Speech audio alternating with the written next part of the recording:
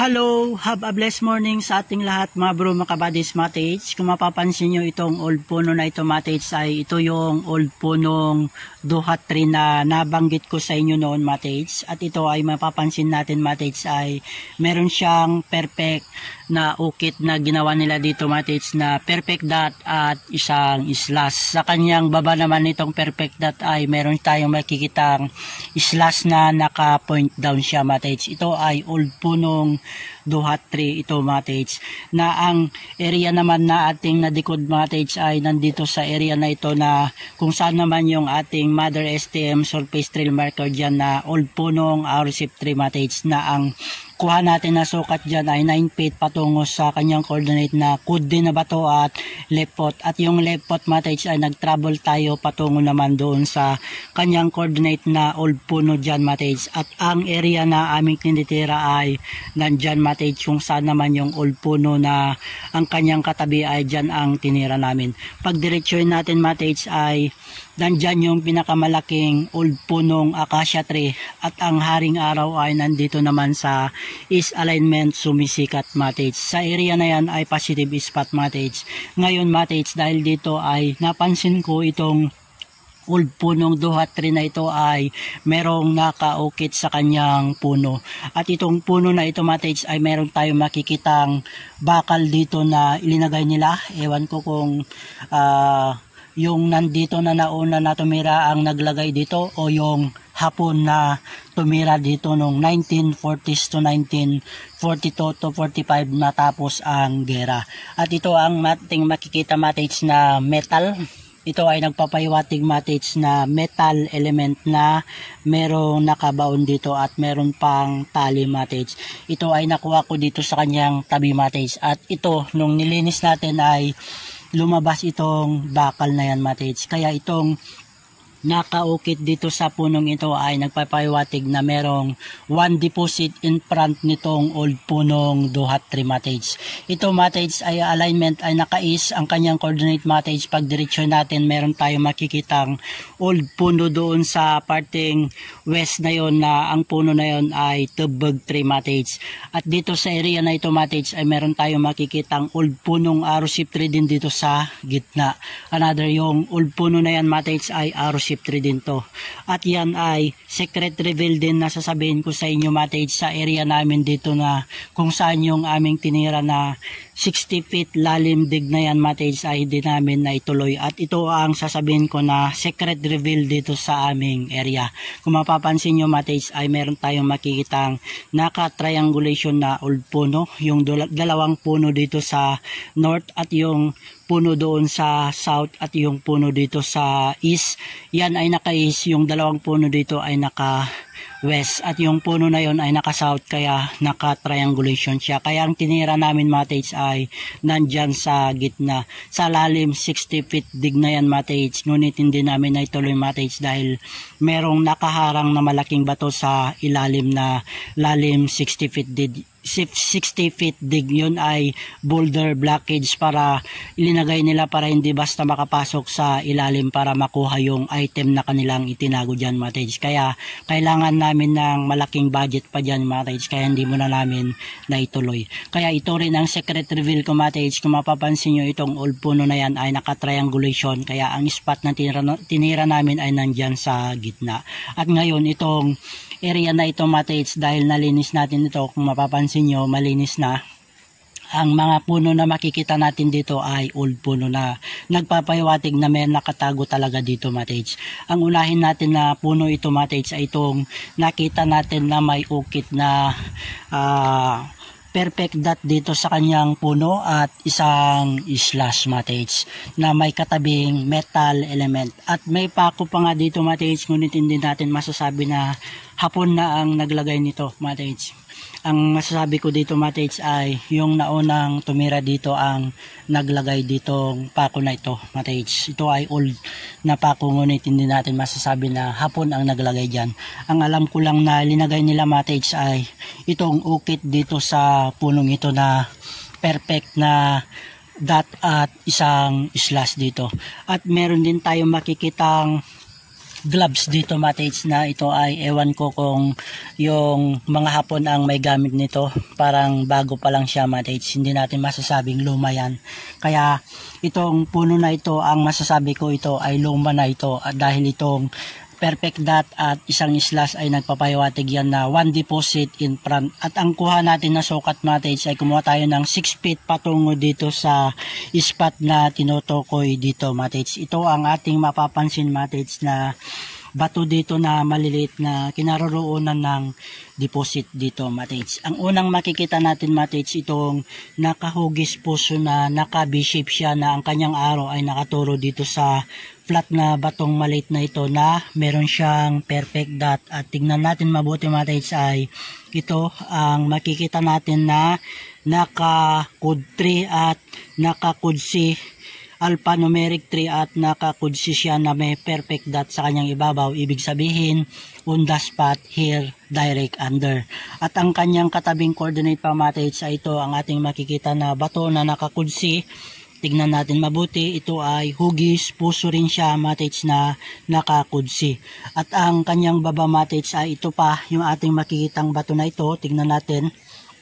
Ito ay bat, bato na naka-arrowhead at nakakudsi na naka B-shape din siya na ang kanyang arrow ay nakaturo rin dito sa spot na sinasabi matrix. At another, ito pa ang ating makikita na linagay nila matrix. Ito yung bato na ito na kinatid nila na kulay uh, dilaw siya matage at ang formation din nitong bato na ito matage ay naka-triangulation. At ito pa ang ating makikitang nakaukit dito matage na enter sign or element ito na ginawa nila matage kaya ang sukat na kinuha natin mula doon sa ating mother STM surface trail marker na nagpapayawatig one deposit in front 6 feet layo eksakto dito matage ito matage ay magiging is alignment another coordinate niya yung spot dito sa west alignment. At yung puno ay nandyan niya.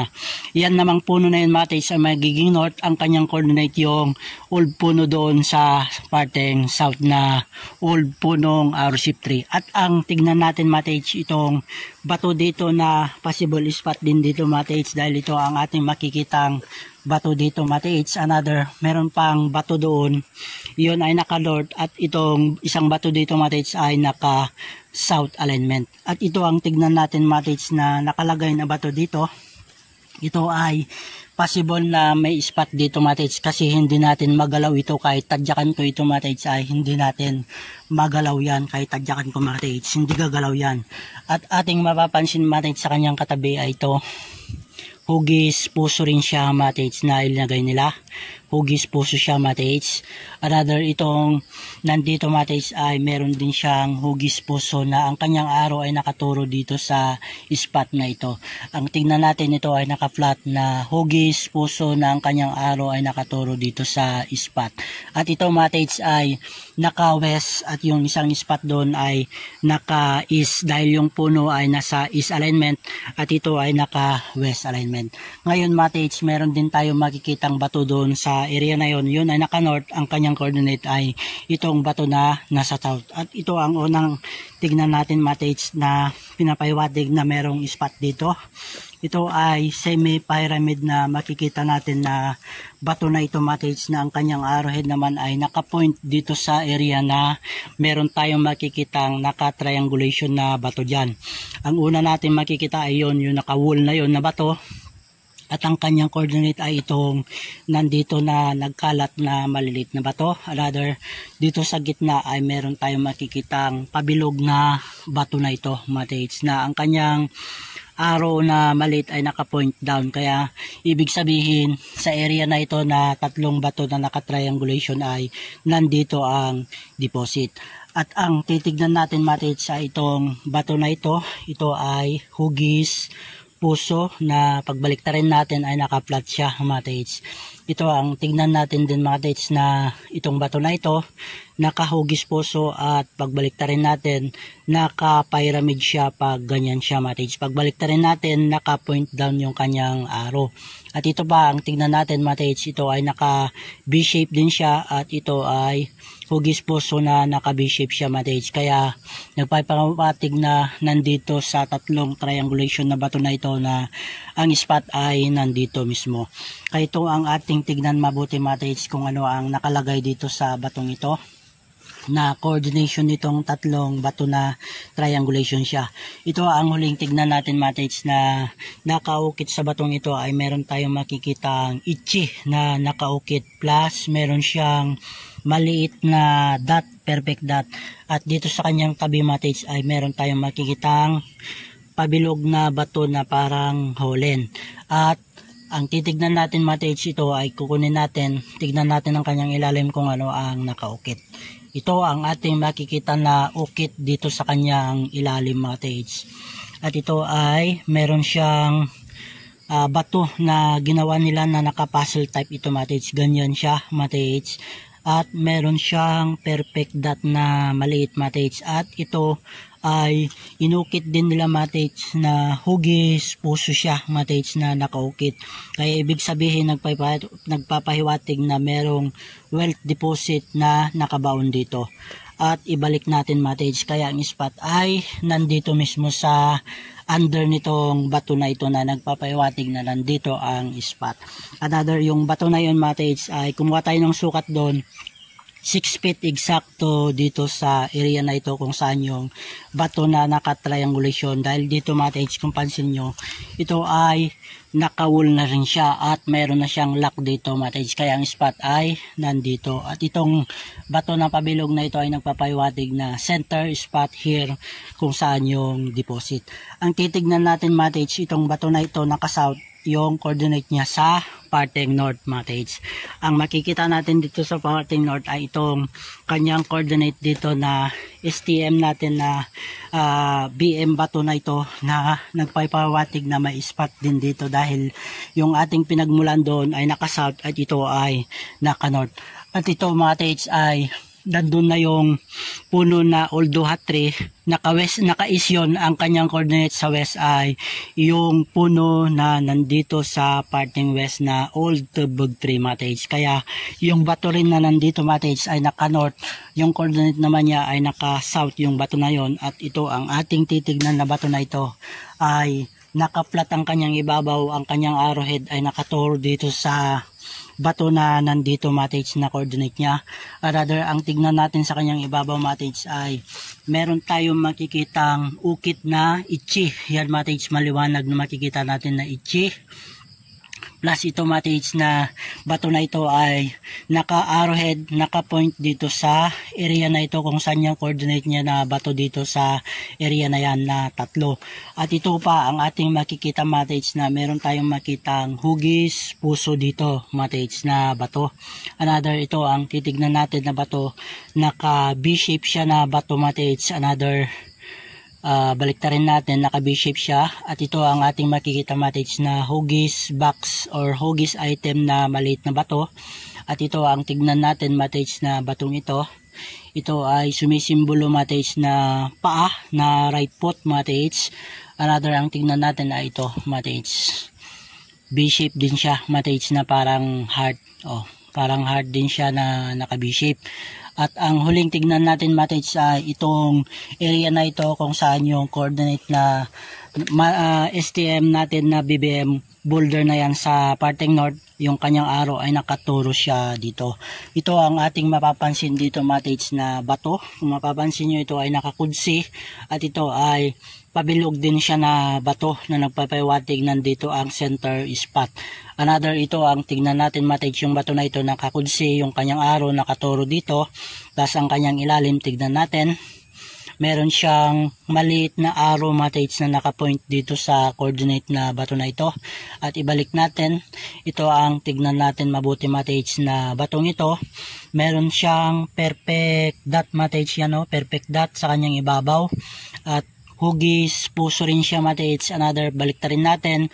Naka hugis box or hugis item siya. At baliktarin natin. Yan ang ating makikita mga tates na meron siyang hole pag ganyan siya mga tates ibig sabihin on the spot here direct under at wealth deposit na nakatago dito mga tates at nag pag ganyan siya pag ganyan siya, hugis puso. Pag ganyan siya, hugis puso rin siya, matage na meron siyang perfect dot. Kaya ang spot ay nandito. At ang alignment na ngayon, matage, ay naka-triangulation. Yung isa, isang spot dito sa south matage ay nandun. Another yung spot dito sa north ay nandito. Another yung spot doon sa east matage ay nandun. Pag diretsyon natin, tatamaan uli natin yung spot doon sa area na yon kung saan yung old punong duhat tree. At ang position ng mga cottage ay naka-triangulation niya yung isang spot dito, another yung isang spot dito, another yung isang spot doon matage kaya naka-triangulation siya at ating balikan matage itong sinabi kong old puno dito matage na nasa gitna dahil itong old puno na ito ay RC3 at tignan natin mabuti ay old puno na ito. Ang coordinate niya mate sa itong old puno dito na RC3 din. Yan ay naka south at ito ay naka north. Pag kukunin natin na alignment mga tates, yun ay naka southeast, ito ay naka northwest. Kaya ang puno na ito matage ay nagpapahiwatig din na merong spot dito sa kanyang tabi. At pansinin natin mabuti matage itong puno na ito ay nakawiden at ang kanyang siko ay nakaturo siya dito sa kinaroroonan ng spot dito sa area na ito. At ang mapapansin natin dito matage ay meron tayong makitang mga bato dito na maliit na nagkalat. Ang unang makikita natin dito matage sa itong hugis puso na ito na bato na kulay puti at baliktarin natin hugis puso rin siya at unang tingnan pa natin matay sa itong hugis bato na ito na left foot matates na ang kanyang uh, arrow ay naka V-shape at exacto matis na coordinate niya nandun na yung old punong uh, duhat train na nagpapatig one deposit in front at nandun yung isang spot sa area na yan na kumuha tayo ng sukat doon 6 feet exacto doon. Another yung coordinate niya na spot ay nandito. Another pag direction natin matis ay nandun na rin yung isang spot doon sa area na yon another ikunin natin doon sa area na yon matis ay nandun din yung spot at nandito na rin yung bato. Yung bato na yan matis ay naka west at ito ay naka-is mga tates na spot dito. At yung puno na yan yung siko niya ay naka-point dito. Kaya ang kuha natin na sukat ay 3 feet exacto dito. At ang titignan na natin mga tates dahil nakita na natin itong bato na ito na left foot ito ang tignan natin mga tates na bato na ito. Ito ay hugis puso rin siya mga tates at ito ang tingnan natin itong bato na ito na mas malaki.